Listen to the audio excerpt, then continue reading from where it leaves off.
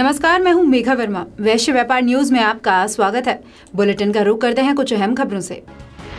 मध्य प्रदेश विधानसभा चुनाव से ठीक पहले भारतीय जनता पार्टी को बड़ा झटका लगा है बीजेपी विधायक संजय शर्मा ने इंदौर में कांग्रेस का हाथ थाम लिया शर्मा ने कांग्रेस अध्यक्ष राहुल गांधी की मौजूदगी में पार्टी की सदस्यता ग्रहण की शर्मा नरसिंहपुर जिले के तेंदुखेड़ा सीट से दो बार विधायक भी रह चुके हैं शर्मा के अलावा किरार समाज के अध्यक्ष और राज्य मंत्री रहे गुलाब सिंह किरार के साथ पूर्व विधायक कमलापत आर्य भी कांग्रेस में शामिल हो गए कांग्रेस का हाथ थामते ही संजय शर्मा ने शिवराज सरकार पर जमकर निशाना साधा उन्होंने कहा कि उनके नेतृत्व में घुटन महसूस हो रही थी शर्मा ने आरोप लगाया कि सीएम ने मेरे विधानसभा क्षेत्र के लिए कुछ नहीं किया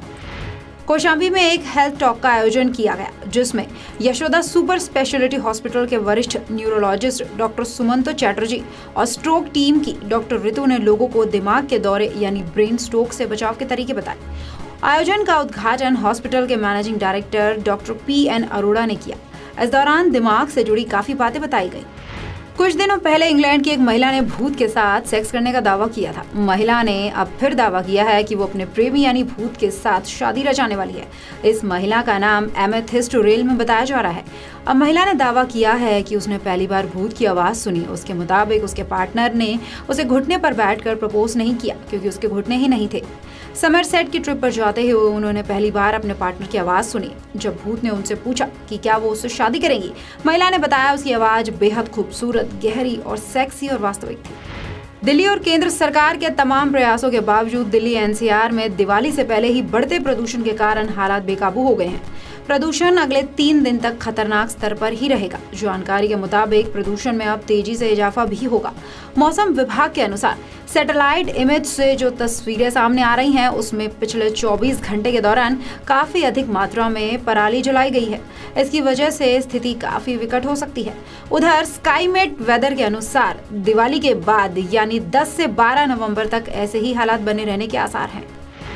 बिहार में इन दिनों भाई भतीजा की सियासत चल रही है राष्ट्रीय जनतांत्रिक गठबंधन के घटक राष्ट्रीय लोक समता पार्टी के सुप्रीमो उपेंद्र कुशवाहा ने जनता दल यूनाइटेड के सुप्रीमो और मुख्यमंत्री नीतीश कुमार को बड़ा भाई बताया है इस बीच अमित शाह ने नीतीश कुमार के साथ संयुक्त संवाददाता सम्मेलन कर राजग में सीट शेयरिंग का फॉर्मूला तय हो जाने और भाजपा जदयू की बराबर सीटों पर चुनाव लड़ने की घोषणा भी की इसे विपक्ष के नेताओं ने कहा कि राजग में भाजपा और जदयू सगे भाई हैं जिन्हें सौतेले भाइयों यानी रालोसपा और लोजपा को किनारे कर दिया है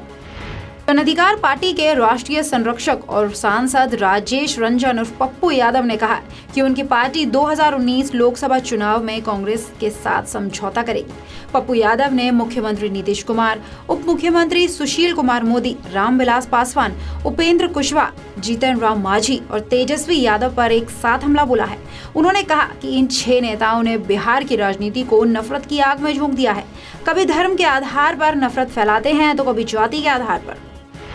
सरदार वल्लभ भाई पटेल की एक जयंती पर आज गुजरात में प्रधानमंत्री नरेंद्र मोदी ने नर्मदा घाट पर बनी एक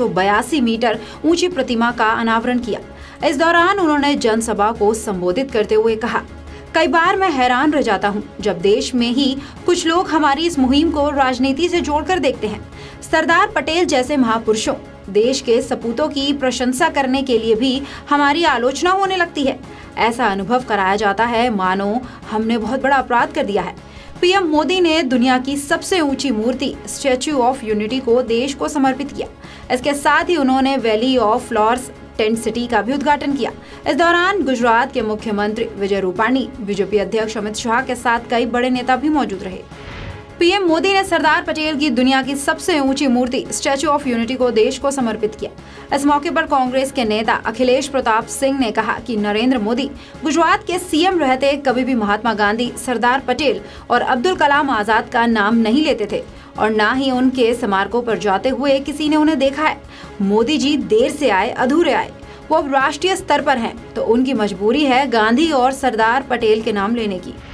केंद्रीय मंत्री रामदास अठावले ने कहा है कि केंद्र सरकार पेट्रोल और डीजल को जीएसटी के दायरे में लाने पर विचार कर रही है अठावले के अनुसार अगर पेट्रोल और डीजल को जीएसटी के तहत लाया जाता है तो इससे कीमतों में 20 से 30 प्रतिशत कमी लाने में मदद मिलेगी जिससे मध्यम वर्ग और आम लोगों समेत देश को राहत मिलेगी एक्टर आर माधवन जल्द ही इसरो के वैज्ञानिक एस नंबी नारायणन की जिंदगी पर बनी film rocketry the Nambi effect लेकर आ रहे हैं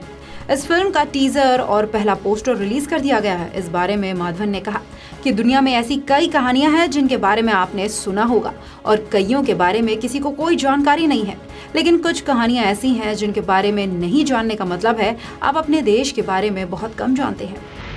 दिन भर की ताज़ा तरीन खबरों में फिलहाल मेरे साथ इतना ही आप बने रहिए वैश्य व्यापार न्यूज़ के साथ नमस्कार